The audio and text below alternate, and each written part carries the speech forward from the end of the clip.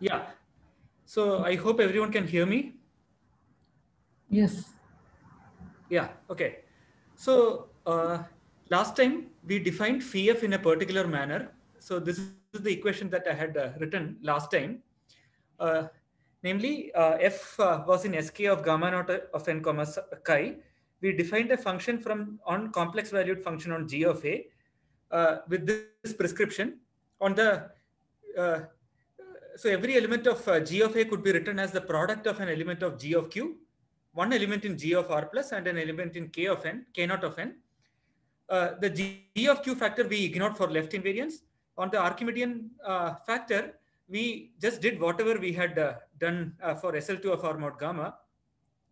And uh, for the k naught of n factor we um, tried to compensate for the chi that came in from the Archimedean factor by using a character on k naught of n. Okay, and that character on k naught of n was defined exactly like uh, chi was defined for uh, uh, gamma naught of n. Namely, if you have a b c d, this time in zp hat, you uh, take it to chi uh, of the reduction of d modulo uh, n. Okay, so we multiplied with the inverse of it to compensate the contribution from the Archimedean places. So this was our definition. Um, now I want to point out that uh, many sources uh, define phi f slightly differently. Okay, so let me state the alternate convention. Convention found in, for instance, Gelbart's book or Arvind's notes is that instead of uh, see the only difference with the previous formula I have written in red color. Okay, so instead of chi k naught of n inverse, I have written chi prime k naught of n. Okay, so that red color thing. What is the difference here? I need to define what chi prime k naught of n is. It is defined very similarly to chi k naught of n, except that instead of going to d bar, you go to a bar. Okay. And unlike in the first formula, chi k naught of n, you don't take the inverse. Here it is just chi prime k naught of n. Okay. So there are two different conventions for how to define phi f, and both conventions work because one of them involves chi of a bar, the other involves chi of d bar inverse. Okay, uh, but if you look at the gamma naught of n, it is contained in SL2, and on SL2 a times d is one. Okay, so there is uh, both conventions really work, uh, and uh, the main difference if you do this choice is that the central character now is the inverse of whatever was the central character earlier. Okay. So that's the difference. But yesterday, while I was preparing for today's talk, I realized to my shock that obviously one of these conventions have to be wrong. Okay. Uh, namely, there is a relation between L function for the modular form and L function for the associated automorphic representation. Okay. Now, the two conventions give you different automorphic representations because they have different central characters. Okay. Uh, in fact, you can show that one automorphic representation is obtained by tensoring the other fellow with its central character, something of, uh, or the inverse of its central character. Okay. So, not both of these conventions can be right. I try to figure out, uh, like, you know, the troublesome point and in all sources, it is given either as an exercise or they assume that uh, the level is one or some uh, sorry the uh, Nebentypus is one or something so because of this i'll actually evade this problem i'll be slightly dishonest here. I'll assume that chi is trivial okay? So today sorry question? So no today, question no, yeah sorry. no question. Ah, okay. no question. Yeah. So today i'll only work with trivial chi if you work with non-trivial chi everything is going to be true with one of the two conventions okay? But not both.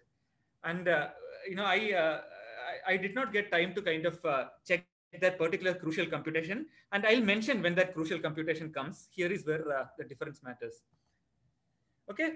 So now before going ahead uh, i wanted to kind of uh, slightly recall the classical theory because i'm told that all of you attended some workshop on modular forms recently but then you know not every detail regarding uh, this Hecke operators and L functions might be, you know, you might remember. I'm, I'm not going to recall the details, but the main ideas. So how do the class, sorry, how do the classical Hecke operators arise? So there is a general principle about group actions.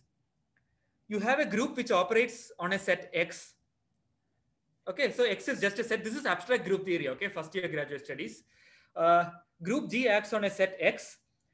Uh, you can consider, and gamma is a subgroup. Okay, so I'm thinking of uh, X as something like the upper half plane, G as something like SL2Z or, uh, sorry, uh, as GL2 of Q plus, and uh, gamma as gamma naught of N. So you can consider X mod gamma on that, of course, the group, uh, uh, I mean, on x naught of gamma, not the whole of g acts, only the normalizer of gamma acts, right? Because if you multiply g1 times gamma x, that is equal to gamma times g1x, provided g1 normalizes gamma. Okay? Which means that g1 acts on the space of functions from x mod gamma to c. On the other hand, if g1 does not belong to g mod uh, uh, I mean, it does not belong to the normalizer of gamma, then what I have just written is not quite true. Okay, you cannot quite define the function. Uh, if you act on a function on x mod gamma, you don't get a function on x mod gamma, only on a kind of cover of x mod gamma.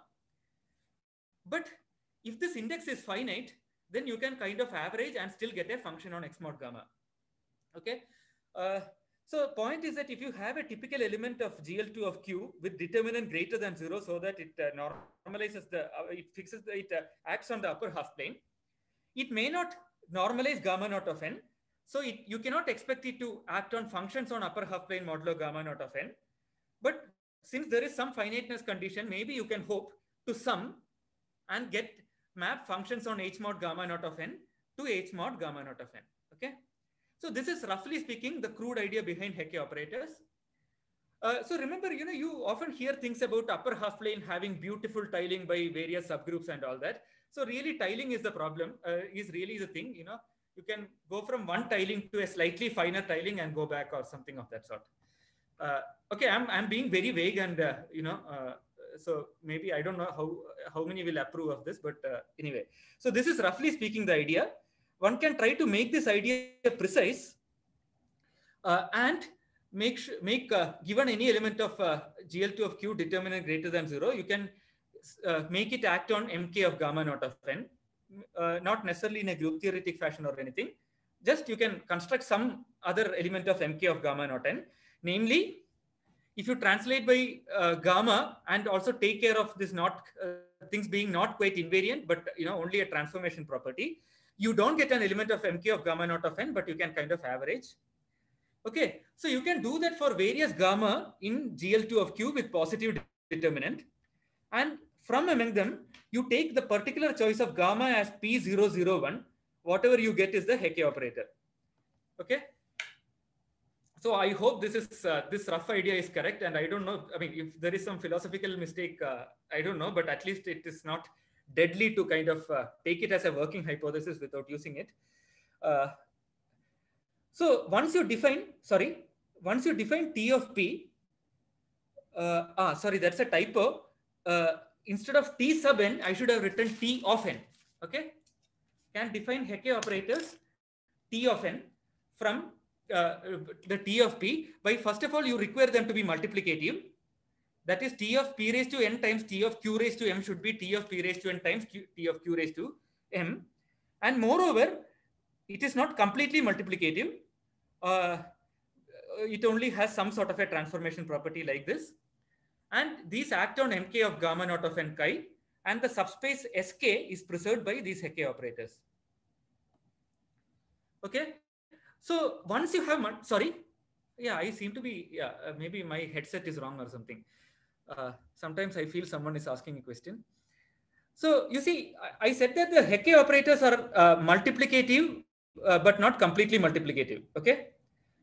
And once you have multiplicativity, as uh, was discussed in the very first uh, lecture of this workshop by Professor Balasubramanian, you can hope to expand Dirichlet series in this way. But here we are taking this equality formally in the ring of endomorphisms of mk of gamma naught of n comma chi. Okay. So I'm saying this formally, I'm not asserting any convergence, but this does uh, uh, suggest that if you have something like Hecke operators, that should give rise to uh, expressions which are very much like L functions. Um, so the idea is you so since these operators satisfy these properties, you would expect similar properties to be satisfied by eigenvalues for those operators. Okay.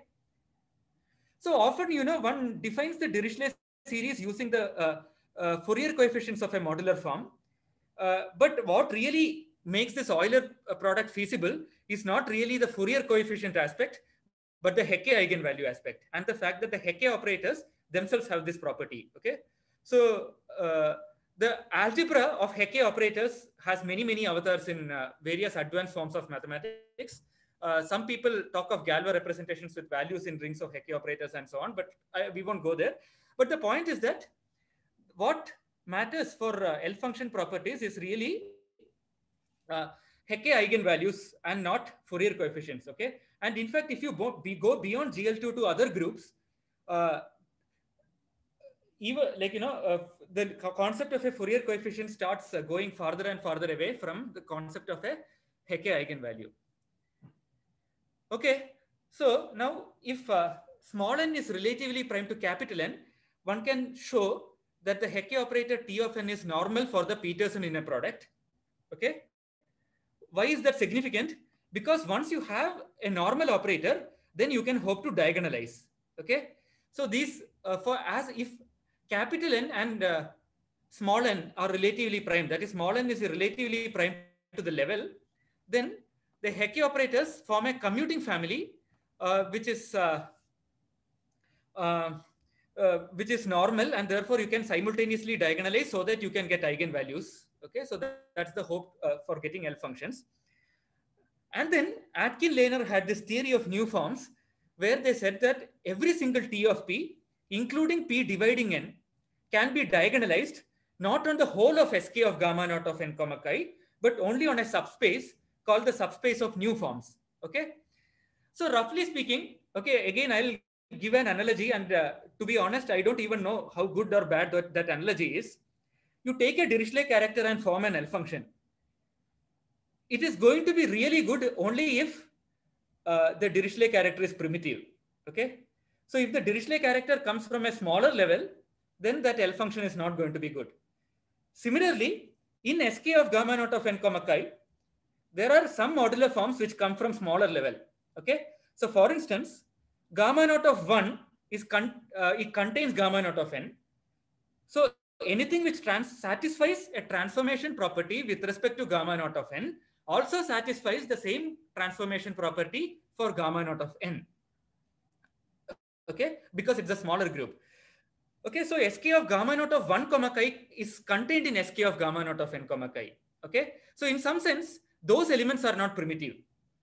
Okay, similarly, one can show that if f belongs to Sk of gamma naught of 1 comma chi, f of nz uh, also belongs to Sk of gamma naught of n chi. So you have to uh, throw out all of these uh, uh, uh forms which come from a lower level and take their orthogonal complement, which is called the space of new forms. Okay. For them, the theory of uh, Euler products works especially well. Okay. So for them, here is the definition of, uh, here is how the L functions work. So if uh, f, which is summation a n q to the n, is a cusp form, you see a0 is 0 because it's a cusp form. Okay. It's a new form and you are uh, taking it to be an eigenvector, right?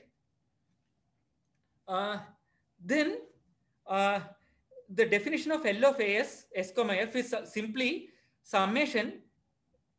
Sorry, that's a typo. Uh, it should have been. Uh, uh, no, I think uh, since I have written it's a new form and it's an eigen for all T of P, it is still correct.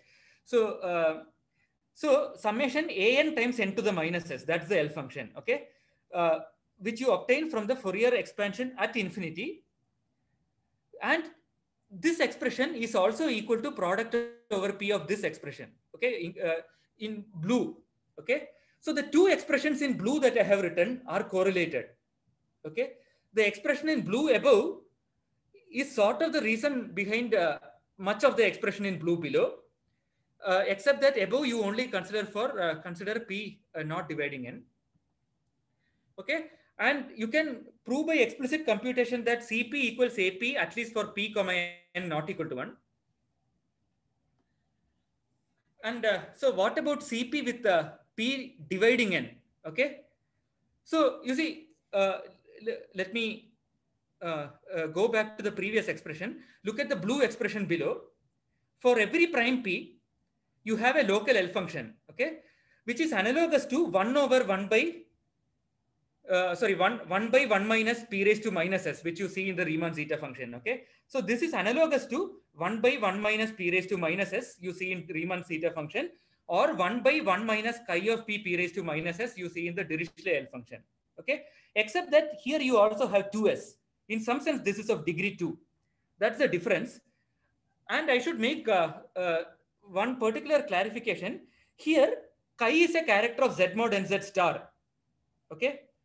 So I did not define what is chi of P if P is not relatively prime to N, if P divides N. In that case, you should take chi of P to be zero. Okay.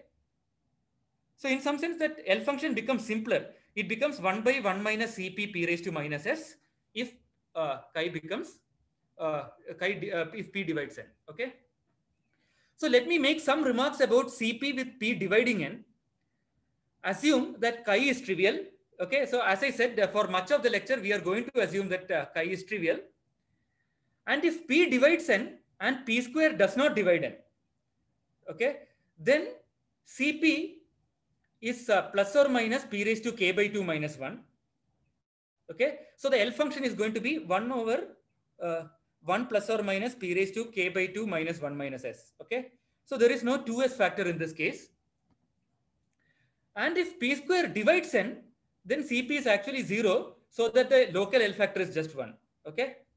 So uh, those who are familiar with elliptic curves might recognize uh, the first phenomenon as something like multiplicative reduction and the second phenomenon as something like uh, additive reduction. Okay. So both are bad reduction, whereas uh, the P not dividing N was the good reduction case. Anyway. Uh, so now what do we want to do? So I have uh, slowly, uh, I have revised the, I have, I have, reviewed the classical theory a bit. Now what I want to do is, last time we discussed the notion of an irreducible admissible G of AF cross G comma K infinity module. Okay. So remember, uh, just think of it as a representation of G of A. Okay. G of A is G of AF cross G of R but that does not preserve the space of automorphic forms. So we had to come up with this contraption called G of AF cross G, G comma K infinity module, but you can think of it as a representation of G of A. For such a representation, we discussed at the end of last lecture how to factor such a representation as a restricted tensor product of local representations of GL2 of QV. Okay. So what we want to do is for each such local representation pi v, so that's another typo you know, I have written L of S pi v. I should have written uh, L of S comma pi v. Okay. So we want to define a formal product like this. We are not claiming it converges or anything for each irreducible admissible module. Okay. So I want to explain how to define the L of S comma pi piece. Okay. And then for each new form f in sk nu of gamma naught of n comma 1, we defined a function phi f, which is uh, uh, sorry. So there is a typo here that it is not that, it is such that. Okay.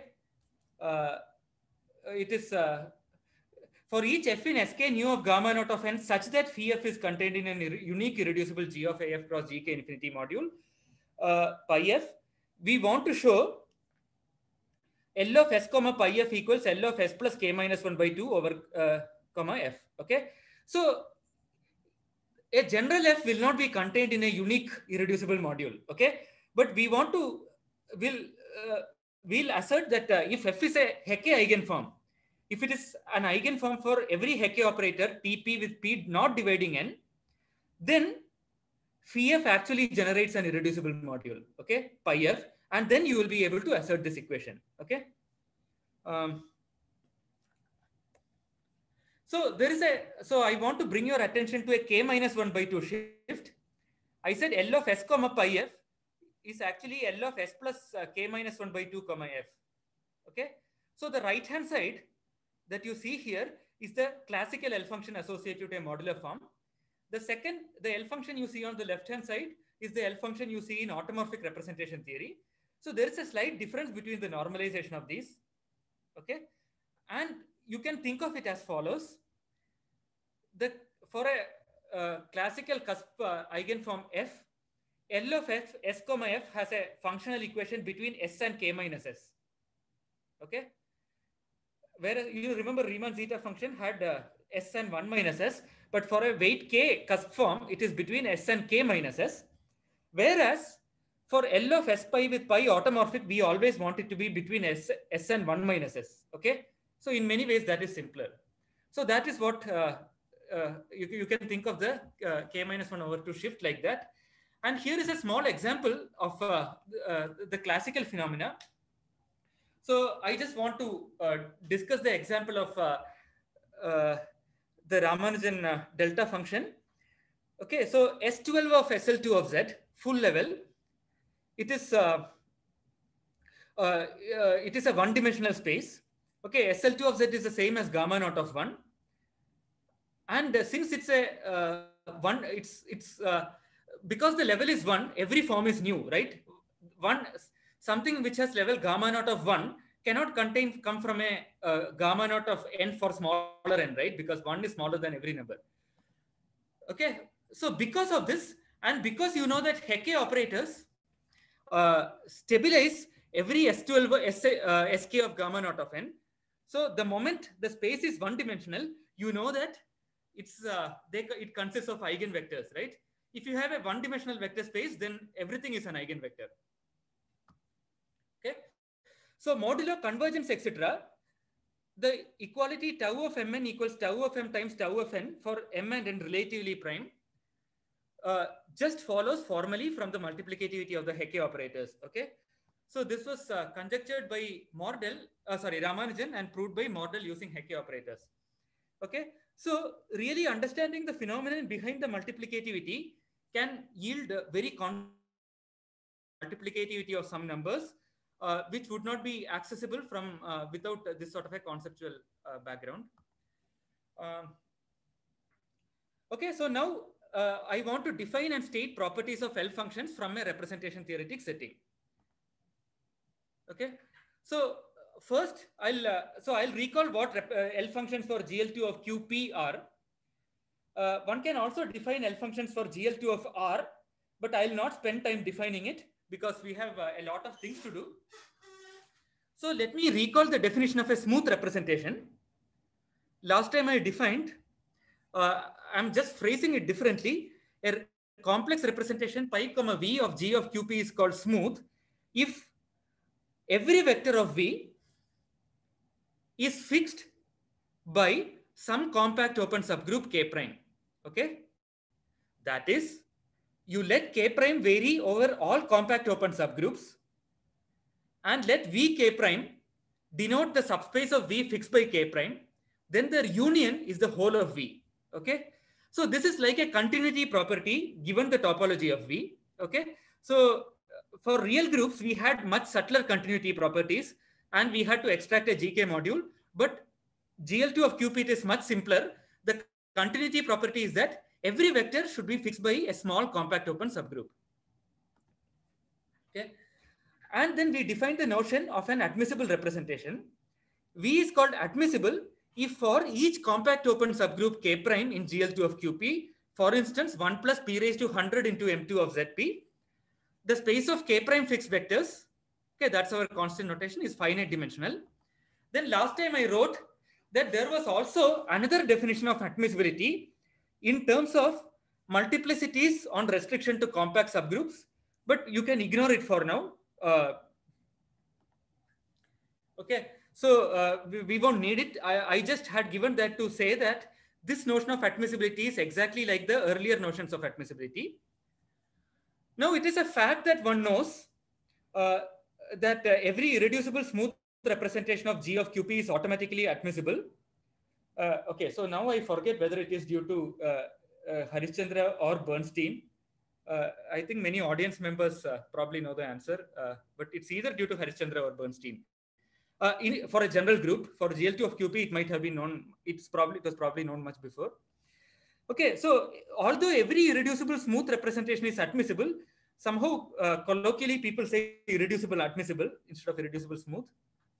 Okay, uh, so now to deal with Hecke operators, I'll need to introduce uh, some representation theoretic concept at this point. So we will uh, need this only later. So remember, for a finite for the finite representation theory of a finite group, we have the notion of a group algebra, right?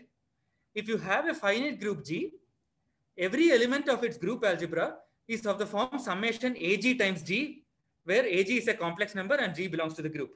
Okay, you can think of it as a function on from G to C, taking G to AG. Okay, so for these this topological group, sorry, there is a chat. Saurabh, can you read it? Yes, it is comment from the Ghate sir. He says that above notation is due to one sign and Jacquet. Jacquet. Jacquet.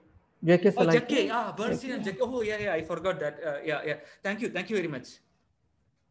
Uh, so, so there are two chats. So both are this. Yeah, both okay. both from Ghate. Yeah, yeah, yeah.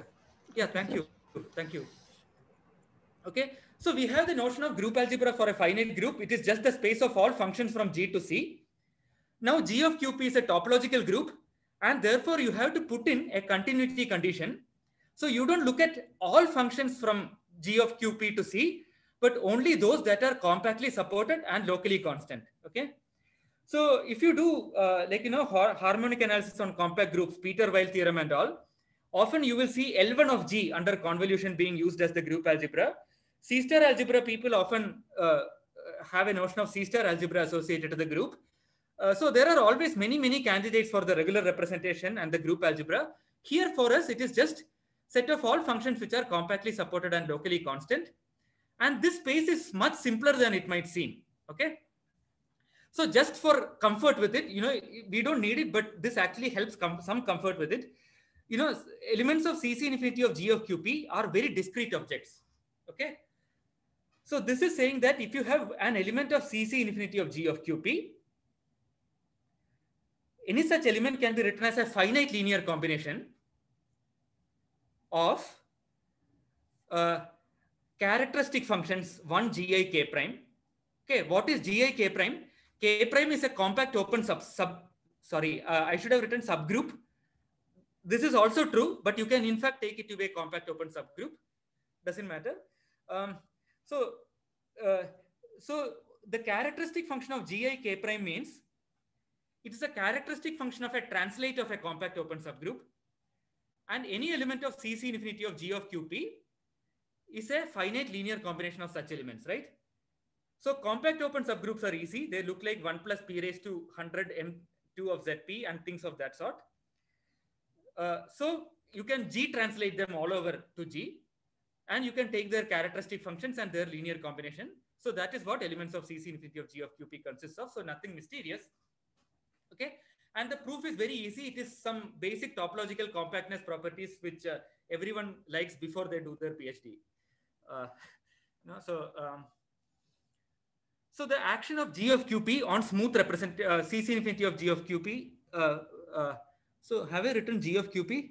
I should I should have probably written CC infinity of G of QP. Okay. So what is this? How do we study representation theory of finite groups?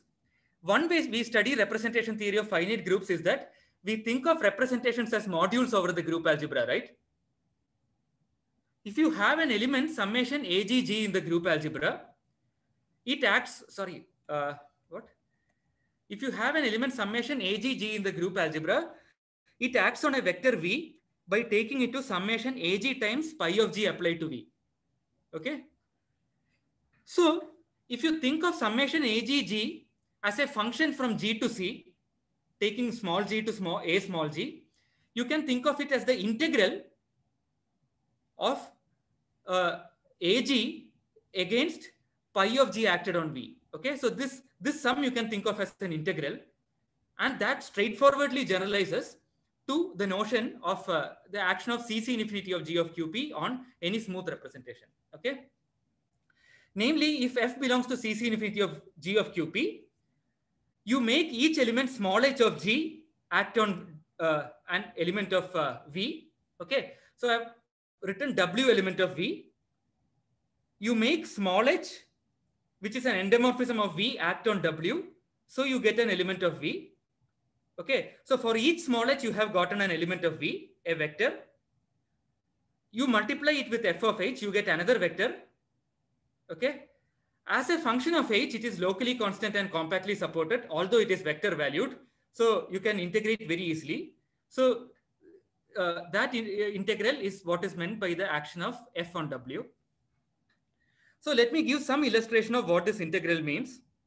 Okay, so this is a very simple exercise or whatever. Uh, so I said that every element of CC infinity of G of QP is a finite linear combination of translates of compact opens. Moreover, ah, sorry, I made another notational change. I have written small v here, okay? Whereas earlier I wrote small w. So small v is the same as small w, okay? So, I mean, it's not really an error, but uh, it's, uh, I should have written w there, okay? So, so you can choose a small vector where a small compact open subgroup where f can be written like this and k prime fixes. And then you can check that this integral is just a discrete sum, okay? Uh, that k prime fixes v, so therefore it comes out as the volume of k prime. So you just have gi acting on w and the ci just stays as it is, okay?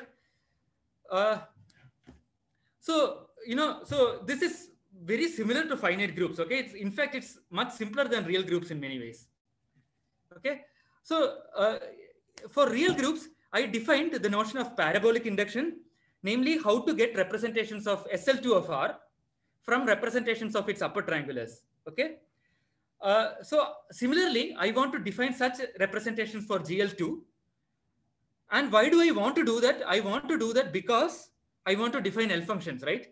To define L functions, you should first of all have representations. So recall the absolute value.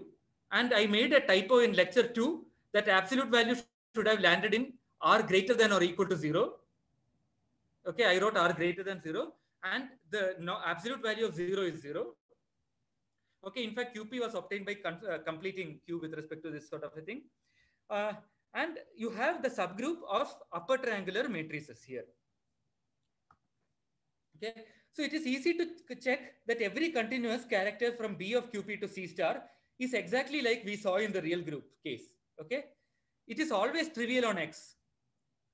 So you apply some character to T1 and some other character to T2. Okay. In the real group case, I did not write mu1 of T1 or mu2 of T2 because in the real group case, the only characters were either absolute value or absolute value times sign. I mean, to, to some power. Okay. So in the real group case, mu1 was always either absolute value to some power or absolute value to the some power times sign. Okay. So here you have to worry we have to consider general mu1 and mu2 they may not be they may be absolute value but they may not be absolute value okay? So henceforth this character of b namely t1 x0 t2 mapping to mu1 of t1 and mu2 of t2 will denote it by chi t1 t2 okay?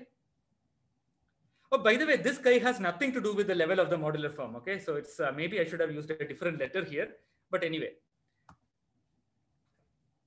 Mm. Uh, it has nothing to do with the Nebentypus of the modular form. Okay. Now, just like in the real case, you have uh, a, a, function called delta from b of qp to r greater than 0, which sends t1 x0 t2 to absolute value of t1 with respect to p, the p-adic absolute value, divided by the p-adic absolute value of t2. Okay. Now, uh, when I discussed this in lecture 2, uh, Saurabh Srivastava, I guess he is not in the audience now. He was in the audience then. He asked, uh, what branch of the square root should I take when I write delta raised to half? Okay. And I replied that that guy was t squared in the SL2 of R case. So it's anyway always positive. You could take the positive square root. But uh, morally, actually, Sagar's question was really good because uh, morally there is an absolute value there. Okay. Uh, even though you know, for the real groups, it was the same as writing t squared uh, for real SL2R. And the reason is the significance of delta is the following.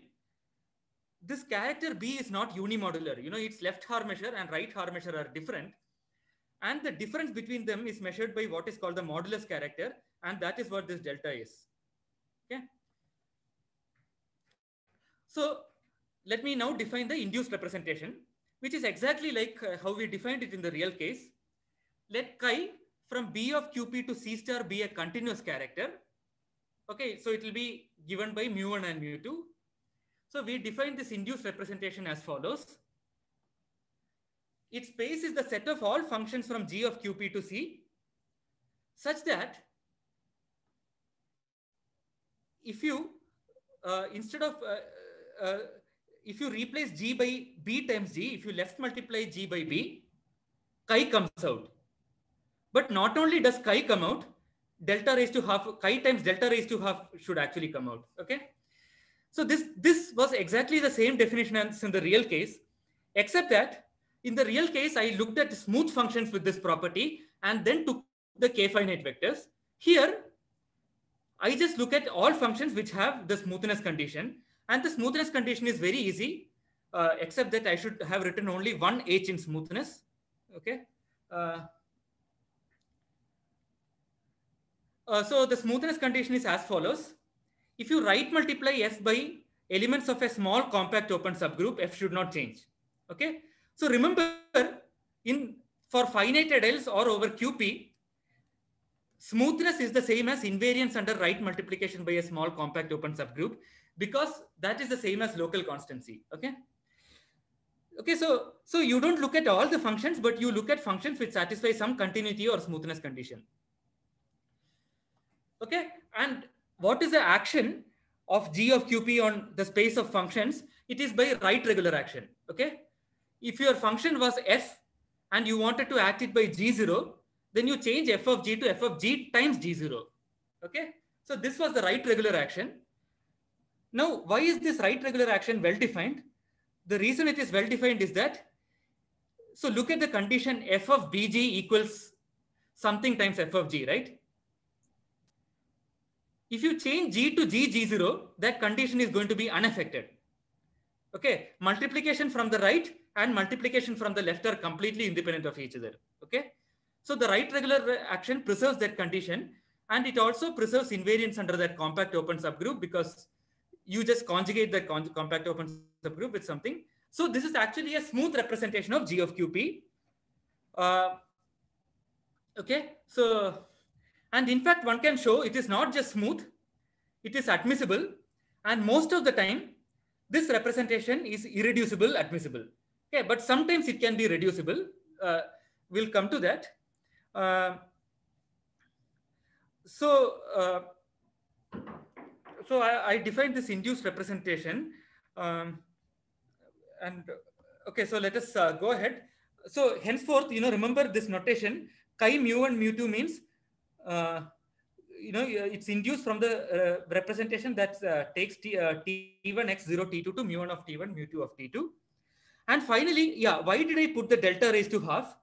The reason for putting the delta raised to half is the same as in the real case. Uh, namely, when chi is unitary, you want the induced representation to be unitary. Okay. There is uh, the obstruction to that is the fact that the uh, G is unimodular, but B is not. And the delta raised to half kind of compensates uh, for uh, the lack of unimodularity by letting G and B meet midway or something like that. Okay. So you see, this is uh, something very amazing in some sense because when we define the modular forms, uh, when we defined phi f, we had a blue and a magenta, magenta, right? Blue was from the Archimedean part and magenta was from the non-Archimedean part. The definitions were so different. The Archimedean part followed what we did for SL2 of R mod gamma, whereas the non-Archimedean magenta part dealt with only the Nebentypus. But still, over QP and over R, the representation theory seem to be strikingly similar with each other. Okay. So now I want to define local L functions in a special case before, uh, uh, before uh, defining further representations. Okay. So if your induced representation, induction from B of QP to G of QP, chi1, chi mu1, mu2, if the induced representation is irreducible, then the L function is very simple. Namely, you just take the L function of mu1 and multiply with the L function of mu2. Okay.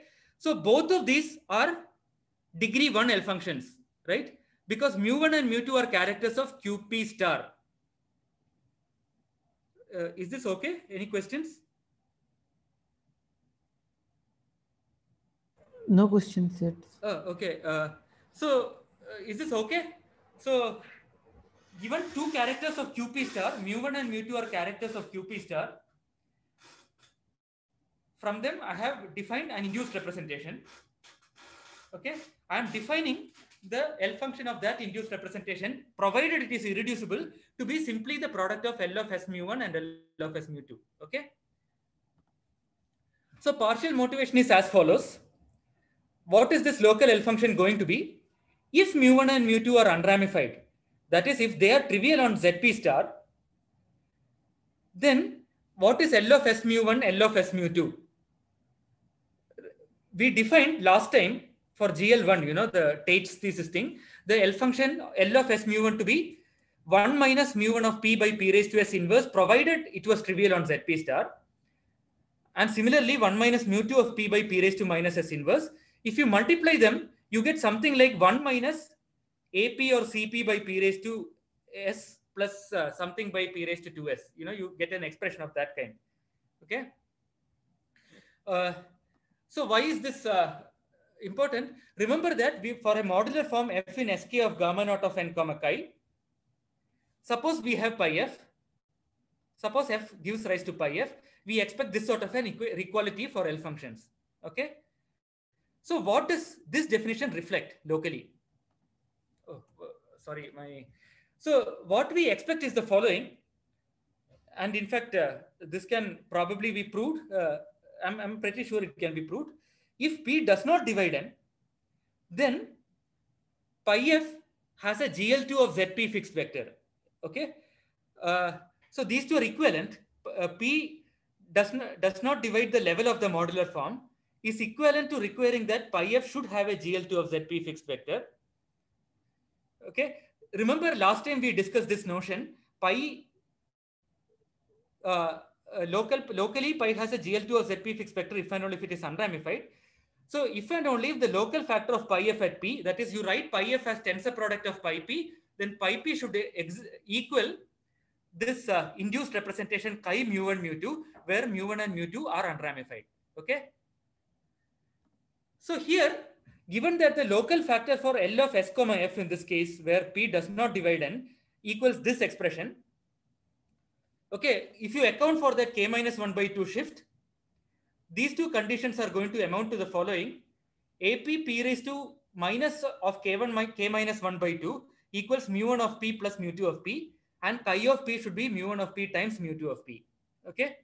So at this point, I can already discuss the connection with the Ramanujan uh, Petersson conjecture, namely uh, the absolute value of AP P raised to minus K minus 1 by 2 should be less than or equal to 2 if and only if uh, like you know mu1 and mu2 are unitary provided their product is unitary you know roughly speaking but we'll come to that later okay? So uh, we'll come to that after actually justifying this expression some this uh, relation somewhat okay? So the reason why we define this L function uh, one it is probably the most obvious thing to set the second motivation is that uh, you expect it to be related to the local factor of the modular form in the following way okay so here is an example. So I said that if P does not divide the level of the modular form, then you expect locally pi of f to have a GL2 of ZP fixed vector. Okay. So what if your representation is actually delta? What if your representation is Ramanujan's form?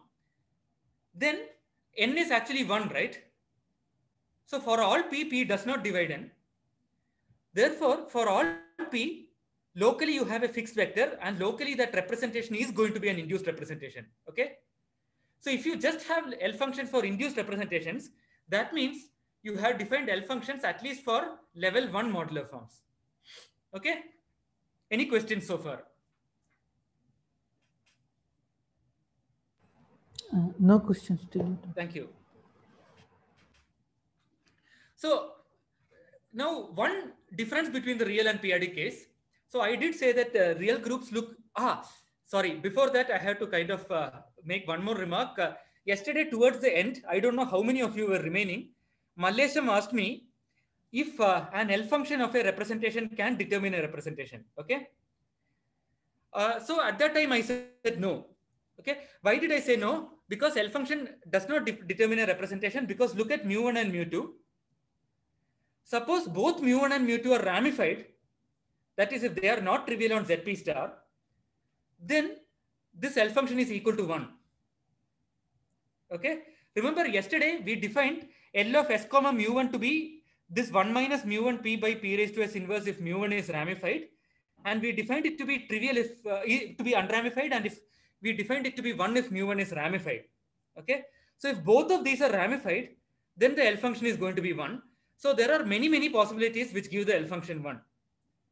However, if both of them are unramified, then these two does determine the do determine the representation. Okay. Why? Because uh, if you have the the holomorphic function 1 minus mu1 of p by p raised to s inverse times 1 minus mu2 of s p by p raised to s inverse determines mu1 and mu2. Okay. So for a specific subclass of good representations, this L function does uh, uh, detect the representation. And uh, so that was a good question. Uh, but I did not uh, think about this yesterday, but it is actually not only good, it's actually relevant to uh, these considerations. okay, so let us go ahead. So unlike with the real groups, there exist irreducible admissible representations of GL2 of QP that are not contained in any induced representation from a uh, the uh, from B of QP. So we are not going to discuss them. There is a whole elaborate theory which attempts to treat them and is successful for uh, groups like G, GL2 of QP, but not, not in great generality. So such representations are called supercuspidal. Okay. So, uh, so at least the way I like to think of, uh, you know, GL, G of QP and G of R are supposed to be so similar to each other. Why is it that, why is it that G of QP has a phenomenon like this, whereas G of R does not have a phenomenon like this? I think the reason is probably that uh, R is very close to being algebraically closed, whereas QP is very far away from being algebraically closed. Okay. So that is why GL2 of QP has many more representations, but that's not of very much relevance to us, but I still feel it's a good thing to know. So I mentioned it. So if pi is supercuspidal. Sir, please can you repeat this, this statement again? Yeah. So what I was saying is that, uh, so in uh, SL2 of R, we saw after we defined the uh, notion of uh, a representation induced from B to G, we observe that every irreducible admissible representation of SL2 of R is contained in such a representation. Okay. It may not be equal to such a representation, but it is contained in as a subquotient. That is not true for p-adic groups. For p-adic groups, there are representations which are not contained in any representation constructed in the following in the manner that we discussed, where you take mu1 of t1 times mu2 of t2 on b, and then consider all functions from g to c, which left uh, uh, uh, on the left under b vary under mu1 mu1 times mu2. So for real groups, every representation can be described in such a simple form, whereas for p-adic groups, not every representation can be described in a simple form. Okay, so the question was, what is philosophically the reason why for p-adic groups you have such things, whereas for real groups you don't have such things? Okay, and at least the way I like to think about it is that uh, p-adic groups are very far away from being, uh, uh, sorry, QP is very far away from being algebraically closed, whereas real line, uh, real numbers are close to being algebraically closed. You know, its algebraic closure has degree two over it. Okay, but that's just a philosophical point. It won't have any relevance to what we discussed, but it was something to keep in mind. Okay, so the mot motivation is the following. A supercuspidal representation should occur as a local factor of uh, at p of pi f only if p square divides n. Okay, that is if a supercuspidal representation occurs as a local rep uh, representation at p attached to a modular form, then n has to be divisible not just by p, it has to be divisible by at least p square. Okay, though the converse is not true. Uh, sorry, there is a parenthesis problem here. I should have closed the parenthesis uh, after though the converse is not true. Okay. So at least for trivial chi, the local factor, recall that the local factor was just identically one if p squared divides n. Okay. So that agrees with the fact that if pi is supercuspidal, it can only correspond to a case where p square divides n. So you want the local L function to be one. Okay. Any questions? No question. There is exactly one more class. Okay. Uh, almost one, one more class of representations to be considered. Okay. The, namely, we didn't consider the trivial representations or characters yet. But other than that, there is only one class to be considered. So what we have considered so far are those induced representations that are irreducible. And then we have considered supercuspidal representations. What about L functions for the remaining? Okay. So here is the fact. I mentioned earlier that the induced representation is irreducible most of the time, though not all the time. Okay.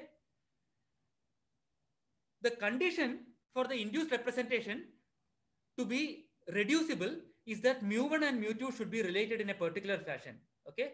So let me recall what is mu1. Mu1 is a character of QP star. Mu2 is a character of QP star. And the first character should be obtained from the other character, second character by the absolute value on QP star. Okay. Absolute value goes from QP star to R star greater than zero. Unless this very special condition happens, the induced representation is irreducible and we have already defined an L function. Okay. So now let us see what happens if mu1 and mu2 are indeed related like this. Okay. So it is enough to consider the case where mu1 is mu2 times absolute value to the minus 1 because the plus 1 case is uh, similar. Okay. Then you take mu to be the geometric mean of mu1 and mu2, so to speak. Namely, mu is the character which is uh, uh, sorry, I think I made a typo here. I should have written plus one. Okay, so mu is the midway between the two characters. If mu is mu, mu1 is mu2 times absolute value of p, then mu1 times p absolute value to the minus half is mu2 times absolute value of p to the half. Okay, so please correct that mu1 is mu2 times absolute value of p, not to the minus one. Okay, I was always afraid of getting things like this wrong, and indeed I got it wrong. So in this case, it is easy to see, you know, it's a very easy exercise. If you just write down the definition of the induced representation, the presence of that delta will tell you that the constant functions on G, not the constant functions, the uh, functions which are identically, which are mu composed with determinant are actually a sub-representation of the induced representation. Okay, and the quotient of the induced representation by this sub-representation has a uh, very specific form so remember this character mu which met mu1 and mu2 midway. Okay. So that character composed with the determinant, it is a character of GL2 of QP. Okay. So this quotient is actually mu composed with de de uh, determinant tensored with ST for some particular representation called Steinberg. Okay. Which is independent of mu1 or mu2. Sandeep, Okay, so, is okay. there is a comment from Ghatte Yeah, yeah, sir. sorry. Yeah, yeah, please. Yeah, so he said you claimed in lecture two that irreducible GK module are subquotient of principal series, but did you also claim that the time that all irreducible representation of GR are inside principal series? So he's asking, did you also claim No, that? inside uh, only in the sense of subquotient. Okay. Only in the sense of subquotient, it, it is always uh, no, no. Actually, even uh, in the sense of sub also, it is true. It is called Casselman's sub-representation theorem. For any real group, any irreducible admissible GK module is a sub-representation of a principal series GK. That is something induced from B of R. Is it is it true also for the irreducible representations themselves, or just for the GK modules? Ah, ah, sorry, sorry, sorry. Yeah, yeah, yeah. Oh, GK oh, representations as in, you know, the topologically reducible ones, you mean? Like Hilbert space and all that, right? I mean, you're claiming now that you know that for PRA groups and everything is not inside a principal series, It's a portion of a principal series. Which is true. Yeah, for you PLA for real not groups everything of is a sorry. You said for real groups, all representations are. Yeah, by representation, I meant GK module. You mean GK module? So Yeah, yeah, yeah. Is it true So- for representations though, or not? So, uh, so actually, I don't know uh, because uh, there are many, many ways to globalize a GK module, uh, and uh, uh, so yeah, I, I- I don't know how this works. Okay, thanks. Yeah. Mm. So uh, yeah, so so uh, anyway, so the point is, uh, okay. So if uh, if this page was a bit uh, dense, you can think of it like the following.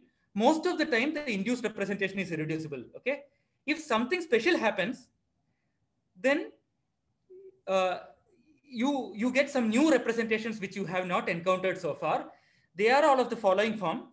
You have a single representation called the Steinberg. Okay, but once you have one representation, you can tensor that representation with any character, right? Because for any group G, once you have a representation pi and a character chi, you can form a new representation pi tensor chi. Okay, so the only new representations that are being introduced in this page are the Steinberg and the tensor product with these characters. So these representations are called special representations. And for them, uh, we define L of mu s comma mu tensor st. Sorry, that st should probably not be in italics at the bottom page. Uh, so uh, L of p comma st is we just define it to be L of s plus half comma mu. Okay. So you see this this parabolic induction gives rise to two kinds of representations if it is reducible. One is mu tensor is, uh, composed with determinant. The other is mu composed with determinant times st. In the first case, you just declare it to be a degree one L function. Okay, so mu is a character of QP star. So this is just a degree one L function. In the se second case, you declare it to be just the same L of S mu one, L of S mu two you saw before. Okay, so any questions? No questions. Okay. Okay, so repeating that uh, fact. Uh, so here is a partial motivation for why we define it like this. Suppose f is a new form. Okay, I could have written new over there. Uh, again, you know, I keep uh, keep forgetting to write. Uh, it's an eigenform for the Hecke uh, Hecke operators. Uh, but anyway, if n is square free and p divides n, okay. So p divides n, but p square does not divide n. So that is a situation that we have seen. One expects the local factor pi p of uh, the representation associated to f at p to be either the Steinberg representation that we discussed in the previous page or a quadratic unramified twist of the Steinberg. Okay. So there is a typo here again. It is not the unique quadratic unramified character. It's a unique non-trivial quadratic unramified character because trivial character is also a quadratic unramified character. Okay. Uh, so, uh, so the thing is, so the Steinberg representation that we discussed in the previous page corresponds to situations where n is square free and p divides n. But I'm also assuming that uh, uh, the character is actually a trivial character. Otherwise, it's not. Uh, otherwise, it may not be true. Okay. So the above represent definition implies that L of s comma st equals 1 minus p raised to minus of s plus half inverse, whereas L of s comma st tensor chi prime is given by this. Okay. So this agrees after the k minus 1 by 2 shift with exactly what we had discussed in the case where p divides n but p square does not divide n. Okay. Uh, so this motivates, uh, so th- this all, all those L function definitions are not completely random. Okay. So since I'm taking up a lot of time, uh, let me not discuss this slide. It is just a table. Uh, sorry, I think I, I scared away a lot of people with Steinberg. Yeah, anyway. Uh, so I'll not uh, discuss this slide. This slide is just a summary of which of the representations that we have seen so far are unitary. Okay. So the only take home message that I want to say from here is that the story is very parallel to the real case. Okay, you have unitary principal series representations. Instead of the discrete series representations, which was the fourth in the SL2R list, you have what are called unitary twists of the Steinberg representation. Okay, so Steinberg representation is the analog of the DK that we saw in the uh, SL2R case. Then you have unitary supercuspidal representations. Then like before, you had complementary series representations. Then in SL2 of R, you had trivial representations. But because you are in GL2 this time, you should also consider the determinant. Okay. Sorry, that's a typo at the bottom of the page. It is mu composed with determinant, not mu tensor determinant. Okay. So if you take determinant, you go to QP star, whereas you want complex valued. Okay. So sorry, there are too many typos today. Uh, all because of that central character issue that confused me at the beginning of the talk. Um, so now let me define the global L function. Okay, we have defined local L functions at every pi p. Okay, so now suppose pi is an irreducible admissible G of AF cross GK infinity module. Suppose that pi is the restricted tensor product of pi v, as in the theorem stated at the end of lecture 4. Above, we have defined L of s comma pi p for each finite prime p. And as I said, we can define L of s comma pi infinity also for, for GL2 of R. And we formally set L of s pi to be the product of all L of s comma pi v. Okay. Again, I say formally because uh, because uh, you know uh, we don't know anything about convergence yet. Okay. In lecture four, I said that I'll take a product only over finite primes, but this time I am saying that you know you take a product over all primes. Okay. So we are taking the completed L function, in, including that uh, pi raised to minus s by 2 gamma s kind of factor. Okay. So L of s comma pi infinity will be somewhat similar to like, you know, that pi raised to minus s by 2 gamma s factor. And uh, pi p's we have already defined. Okay, so if pi is unitary, it is actually easy to see that the product converges for real part of s large enough. Okay, uh, because why we have to use the classification of unitary representations that I wrote earlier.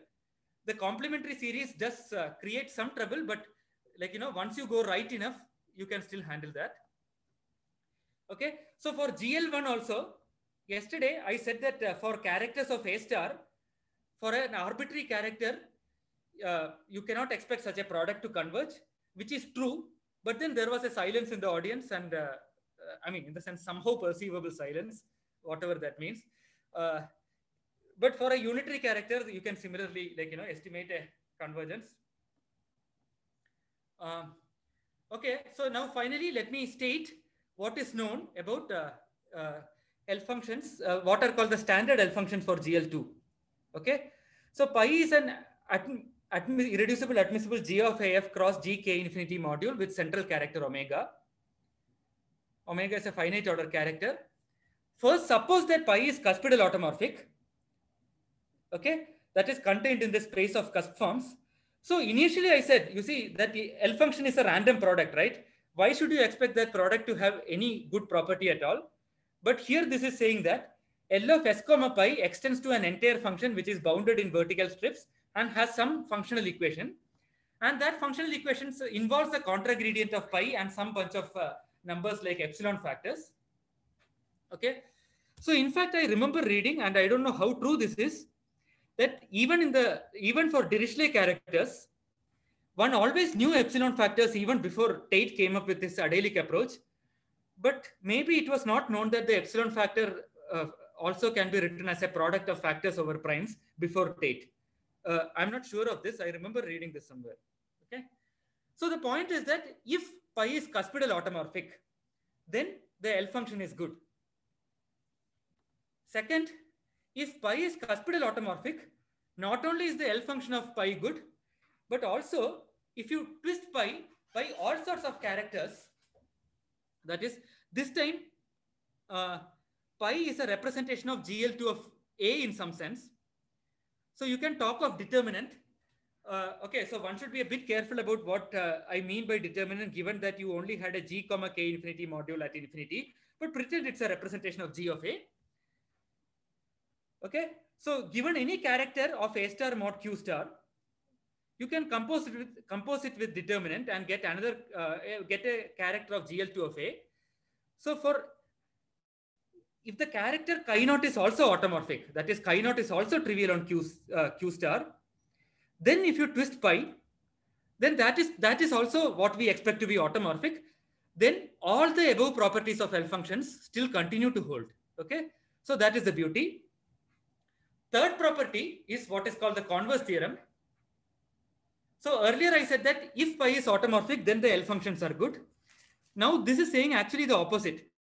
If all the L functions not only of pi but also of various twists of pi are good, then pi is actually cuspidal automorphic. You can put it inside a naught of g of a over g of q comma omega. Okay.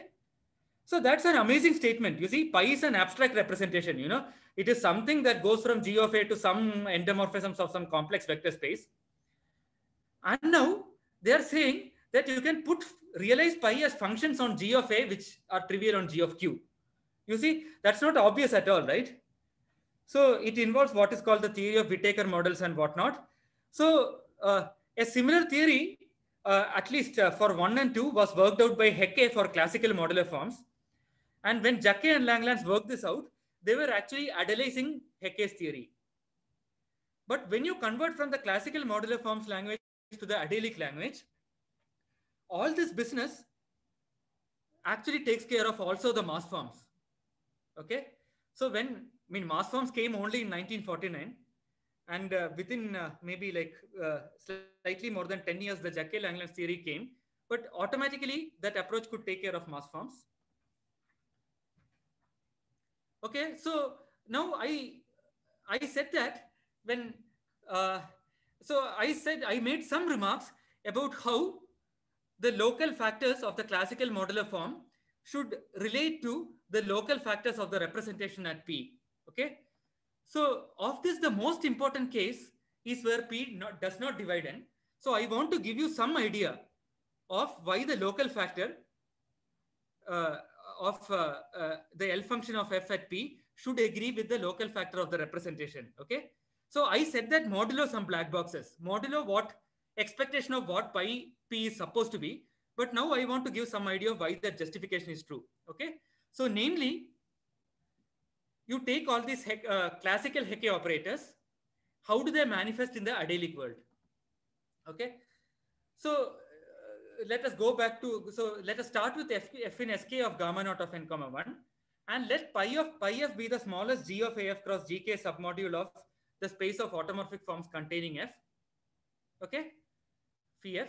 So you know that it is actually completely reducible because f is a cusp form and we stay, said that on the space A0, you have complete reducibility. Okay. So for general F, pi F may be a direct sum of irreducible representations, but it need not be irreducible. Okay. Now one can show that if F is an eigenfunction uh, for each TP, eigenform for each TP with P not dividing N, then pi F is irreducible. Okay. That one can show, but I'll skip the proof because I want to give a picture of how the Hecke operators classical Hecke operators with all that gamma naught of n and all that, how, how can that possibly relate to the representation theory of p-adic groups? That's what I want to discuss now. Okay, but for simplicity, I'm going to assume the above result, uh, namely that I'm going to assume that pi f is irreducible. Okay, so uh, my f is going to be an eigenform for uh, TP with P not dividing n. And I want to show that, uh, uh, I want to assume that uh, pi f is irreducible. Okay, so in fact, the proof that pi f is irreducible uses the computations that we are going to do together with what is called strong multiplicity one, which is a beautiful result. And I think uh, I should at least state it. Okay. So you have two cuspidal automorphic uh, g of af cross g comma k infinity modules. One I call pi 1, which is tensor product of pi 1v and similarly pi 2, tensor product of pi 2v. And suppose for almost all the primes, you know that pi 1 comma p and pi 2 comma p are isomorphic. Okay, they are just isomorphic. Then pi 1 equal equals pi 2 as subspaces of a naught of g of a over g of q comma omega. Okay. So I'm not saying I'm not saying that pi 1 is isomorphic to pi 2. That is true, but something much stronger is true. Though not only are they isomorphic, you know, when you embed them into a naught of g of a over g of q comma omega, those two have to coincide. That is inside this space, pi 1 and pi 2 occur with multiplicity 1. Whereas yesterday, I uh, went on a long rant about compact operators and discussed why the multiplicity would be finite in this set. Okay, so it's not just finite, but for GL2, it is actually, or more generally GLN, it's actually one. But again, we won't go into the proof. Okay, so now we want to, I want to move from the classical Hecke operator to representation theory of GL2 of QP. Okay, so so far I'm assuming that P does not divide N. I'm assuming that chi is trivial. From F, I'm assuming that I'm getting an irreducible pi F, which is tensor product of pi prime pi V. And I want to sketch as to why this equality is true. Okay, so this is the uh, classical L factor and the right hand side is the uh, uh, representation theoretic L factor. Okay, so recall that Kp is GL2 of Zp and I'm going to abbreviate this coset Kp times P001 times Kp to be HP. Okay, why this coset? This coset might look very random, right? So first of all, why do where does the P001 come from? P001 comes from the fact that in the definition of Hecke operators, there was P001. Okay. Secondly, why where does Kp come from? Why, why am I taking GL2 of Zp? So remember what was K naught of n? K naught was of n was some space which was related to gamma naught of n. And when P does not divide n, the factor at P of K naught of n was precisely GL2 of Zp. When P does not divide n, there was no congruence condition. Okay. So that is why uh, this is the correct coset to consider. So recall that Kp is a compact open subgroup. Therefore, this HP, which I'm writing as Kp times P001 times Kp, is a compact open subset. Okay. It is not a subgroup, it's a subset. Okay. So we normalize the Haar measure on the locally compact uh, uh, group GL2 of Kp. QP, I said it's locally compact so that, uh, well, we have already used it. But now we normalize the Haar measure so that Kp gets volume one. Okay. You can always scale it. Okay. Then we can, so how does uh, uh, the classical Hecke operators, how do they interact with uh, this adelic setting? if f prime is t of p times f, then how is phi f prime and phi f related? Okay, so f prime is obtained by applying Hecke operator to f. What should I apply to phi f so that I get phi f prime? Okay, and the answer is very simple. I integrate on this set HP after right multiplying. Okay, so that is the claim. Okay, so applying Hecke operator to F is the same as applying the right regular action of this double coset to phi F, so to speak. Okay. So in other words, I have a p raised to k minus 1 by 2, which is some normalization related to the weight. Then instead of integrating over HP, I say I'm integrating over GL2 of QP, but I'm multiplying with, with the characteristic function of HP. Okay. And instead of writing f of gh, in here, you what you see here, I'm writing the right regular uh, the right regular representation of uh, uh, h applied to phi f on the right regular representation and evaluated at g. Okay. So this is the equality. Okay. So I'll repeat this in the next page. So if you replace uh, acting by T of P on F is the same as you look at the, uh, the right regular representation, evaluate it on some H in our coset, apply it on phi F, uh, and evaluate it at G, and multiply it against the characteristic function of the coset HP and integrate. Okay. So this is very much similar to what we had seen in local representation theory, right? In local representation theory, some time ago, I said that CC infinity of G was the group algebra and you could make group algebra act on representations. Okay. Ah, so before that, so this, this is this is the relation between classical Hecke operators and the adelic setting. And what is roughly the idea? Roughly the idea is what I said to you verbally. When P does not divide n, the whole of GL2 of Zp is contained in K naught of n. And K naught of n and gamma naught of n were related. Okay, so that's why this is true. Okay, so recall that if uh, so, uh, we let us reduce it to the local representation theory at GL2 of QP. So recall that uh, phi f belongs to pi f with pi f irreducible because we are assuming f to be a new form. It's an eigenform. So write pi f comma w equals tensor product restricted tensor product of pi v comma wv. So the upshot is the following. What the classical operator Hecke operator T of P does to the form f? You know, this does something only at the local factor pi p. Okay, because you are making only, uh, you are only right translating by GL2 of QP sitting inside GL2 of A. Okay, so this translates to the following local uh, action, namely, you have the same normalizing factor p raised to k by 2 minus 1, and the right regular action by GL2 of QP is just the local factor pi p acting on H, because after all, it is the right regular representation which we decomposed as a tensor product. Okay, so that is why rho of h becomes pi p of h, and the other things are exactly the same. Okay, so this way you can go from a global problem to a purely local problem. And once you are here, life is much better because you are with GL2 of QP. You don't have to worry about the details. Okay, so we are reduced to the following local variant. If pi is a smooth representation of GL2 of QP, find the eigenvectors and eigenvalues of the characteristic function of the coset HP. Okay, you are reduced to that. How does the characteristic function of HP act on various smooth representations? That's a purely local problem. Okay, so let uh, uh, pi be reducible admissible. I'm just restating it. Ah, sorry, there is another typo there. That Kp on the bottom right entry of that matrix should of course be on the right.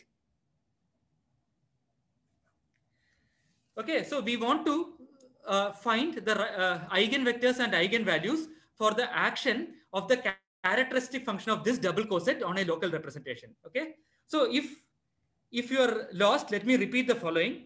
This is actually something very simple-minded. What we do is uh, you have the Hecke operator TP. Now you go to G of QP, take the double coset Kp times P001 times Kp you have its characteristic function. It is an element of CC infinity of G of QP. It acts on every representation. What are the possible eigenvectors and eigenvalues that it can have? Okay. So it comes down to that question. Okay. So, uh, Saurabh, how much extra time can it take? You can take 10 minutes. 10 minutes? Okay. So, uh, in that case, I'll kind of uh, briefly uh, uh, actually do this slide. Okay. Uh, so for this slide, you can forget all about Hecke operators. We are just looking at a local local representation theory problem. Namely, pi is an irreducible admissible representation of GL2 of QP, where we remember that it's actually our pi p. Okay. Then we want to take this coset Kp times P001 times Kp its characteristic function is a smooth function, compactly supported. So you can make it act on every representation. What are the possible eigenvalues? Okay. So the definition of that action was like this, right? You take the characteristic function, evaluate it at h, and then multiply it with the vector pi of h times v and integrate. Sorry, that dg should be a dh. Okay, so it should not have been dg, it should have been dh. Okay, so first an easy change of variable fact. You are integrating over something which is left invariant under Kp. Okay, so that will tell you that the range of pi of 1 HP is always contained in the Kp fixed vectors. Okay, so that's a very ch easy change of variables which I have written in magenta. 1 HP is the same as 1 of Kp inverse times h. And that change of variables will tell you that the output of this integration remains the same if you replace uh, uh, if you act on it by Kp. Okay, so that's the first step. So since the image is contained in VKP, there is no eigenvector until unless VKP is zero, non-zero, that is pi is unramified. Second, if pi is unramified, that is if it has a Kp fixed vector, I stated in lecture three without proof that the dimension of VKP is necessarily one. Okay. So the dimension is one and the range of the operator is anyway contained in that space. On a one dimensional space, everything is an eigenvector, right? We saw that earlier. So, so any element of VKP is automatically an eigenvector, okay? And here is the crucial computation. So there is a third typo. It is not mu1 tensor mu2. It is actually Sir, chi why mu1 that is image is not is non-zero map? You need to show. Sorry, Why that image is non-zero? I'm not saying it is non-zero. Okay, it can be zero. Yeah, it can be zero, but if there is anything in it, Okay. then it's an eigenvector. The eigenvalue can possibly be zero. Okay. Okay, so eigen, I'm yeah. Okay, so basically the point is that I already said what unramified representations are. They should always be contained in induction from B of QP to G of QP, that character mu1 of T1, mu2 of T2. Okay, sometimes it can be reducible, but even when it is reducible, it is actually going to be one dimensional uh, so that the L function is the same. Okay, so here is the crucial computation involving Hecke operators. Okay, so the crucial local computation is that this operator pi of 1 HP, which is our local version of the Hecke operator, it operates by p raised to half into mu1 of p plus mu2 of p. Okay, so that computation needs to be done, but that can be done. Okay, so I, am just, uh, and the L functions are the same in both cases. So I'm just repeating that fact in the next page. So the uh, uh, the eigenvalue, so the eigenvalue needs to be computed and one can compute that representation theoretically as this, okay? So strictly speaking, this computation should be done in a more conceptual framework, not just of uh, the characteristic function of the particular double coset that I wrote, but characteristic function of other double cosets of Kp, okay? Um, and that is uh, that belongs to the formalism of what is called Satake isomorphisms, but I won't have time to discuss it. Okay, so summary of all this discussion is as follows. So F is a new form and again an eigenform. Uh, I, I should have written that. From that you get pi f, which is irreducible because we are assuming that when you have eigenform, it's all irreducible. And then the Cp that you have, okay, that Hecke eigenvalue, you have a k by 2 minus 1 in blue here, and then you have a p raised to half. Together they give k minus 1 by 2, okay? So that Cp becomes p raised to k minus 1 by 2 times mu1 of p plus mu2 of p, which is exactly the k minus 1 by 2 you see in the Ramanujan conjecture. Okay. And then remember that we, this is the equality that we want. We want 1 minus Cp p raised to minus uh, k minus 1 by 2 uh, uh, minus s plus uh, p raised to minus 2s inverse. You want it to be the product of these two L functions, right? So the equality that I have written here, Cp equals p raised to k minus 1 by 2 into mu1 of p plus mu2 of p. What that tells you is that the p raised to minus s terms on both these sides will match. Okay. That doesn't tell you that the p raised to minus 2s terms on both sides match. Okay. So why do the p raised to minus 2s times match? That is equivalent to saying that mu1 of p times mu2 of p is equal to 1. And this follows from our assumption that chi was trivial so pi f has trivial central character. You know, the associated omega chi is trivial and which implies the same is true for pi p. Okay.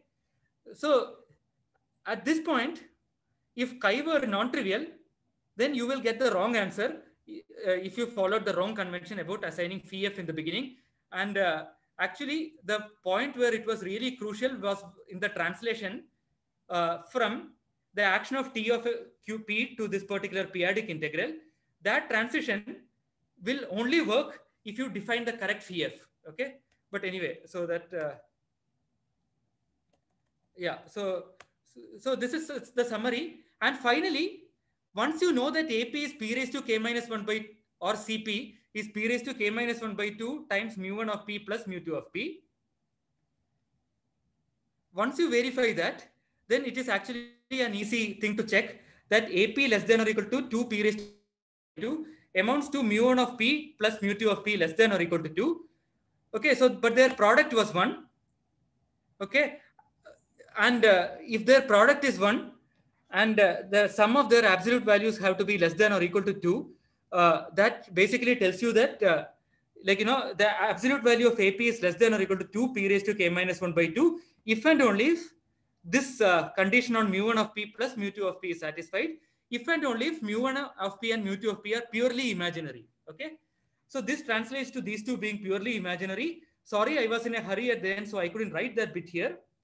And you can use this to rule out the one-dimensional case as well as the case of complementary series. Okay. Uh, so from the classification of unitary representations that I had written down earlier, you can check that the condition that AP, absolute value of AP is less than or equal to 2 p raised to k minus 1 by 2 um, happens if and only if pi p is an induced representation of this form, uh, where uh, I had earlier written that mu1 and mu2 were also unramified. That condition is still actually necessary.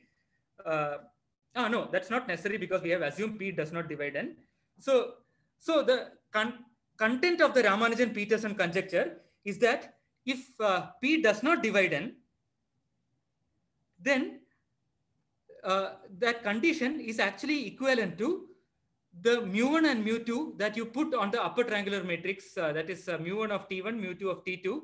The, those mu1 of T1 and mu2 of T2 have to be unitary and not just uh, like, you know, some arbitrary uh, unramified characters. Okay. Sorry, I was quite, I was in a hurry and kind of went over that fast and shortly. so I think I, I think my time is actually up. So I need to stop here. Uh, so sorry for messing up with that, uh, but uh, the idea is uh, just simple. Whatever classical formulation that you had for Hecke operators, uh, uh, the transition from the classical setting to the adelic setting naturally brings in the characteristic functions of certain compact opens. Okay, and uh, if you are considering only the Hecke operator at P, that compact open only involves the GL2 of QP factor in GL2 of A. And once you only have the GL2 of QP factor, the problem essentially reduces to the local representation theory of GL2 of QP. And once you are in the setting of local representation theory of GL2 of QP, there are many things you already know about the representations. Most representations don't even have a KP fixed vector. When they do, they are simple. And therefore, you can uh, uh, you, you, are left with computing eigenvalues of uh, uh, a standard operator that comes in uh, p-adic representation theory on a one-dimensional vector space. So you always have an eigenvalue, zero or otherwise. And uh, those eigenvalues that you have is actually what captures uh, the original Hecke eigenvalues because of, like, you know, the, that's how the formalism operated. And the things like Ramanujan Petersson conjecture have a purely representation theoretic analog. Okay. So this I only discussed when P does not divide n. Okay. When P divides n, there is an entire theory. I'm actually skipping it. For GL2, there is also a local theory, which I uh, like, you know, I don't have time to discuss. For groups other than GL2, uh, all the discussion that I did for P not equal to n at least holds in the adelic setting for general groups in great generality. But uh, the theory of new forms, the local theory of new forms is specific to GL2 or maybe at least at the most GLN. Some of, some of these aspects work for GLN, but not for general groups. Nevertheless, Ramanujan-Petersson conjecture does have an analog of GL2 uh, for general groups. It uh, or, or at least for GLN, it says that cuspidal automorphic representations of GL, GLN are everywhere tempered. Okay. Uh, so, but anyway, I don't have time to discuss that. Uh, and for other groups, the particular statement that I wrote that the, said that the cuspidal automorphic representations are tempered is not true, but uh, uh, one can probably fix it with adding more adjectives like generic and whatnot. But anyway, I'm going too far afield. Uh, so I think I have gone quite over time. Uh, like, you know, sorry for being quite quick. Let me stop there. Any questions? Any questions or comments?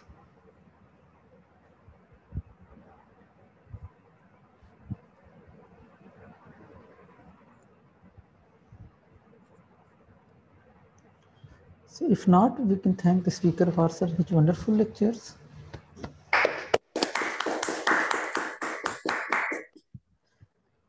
And sir, uh, and Sandeep, there's a request for you. Yeah. Yeah, it will be very helpful if you could present during the vote of thanks at uh, uh, I see. Uh, So In the thing is, there evening. is there is a seminar called Mumbai Pune Number Theory Seminar here. Yes, yes, yes. Ghate sir told me about that. Yeah. So does this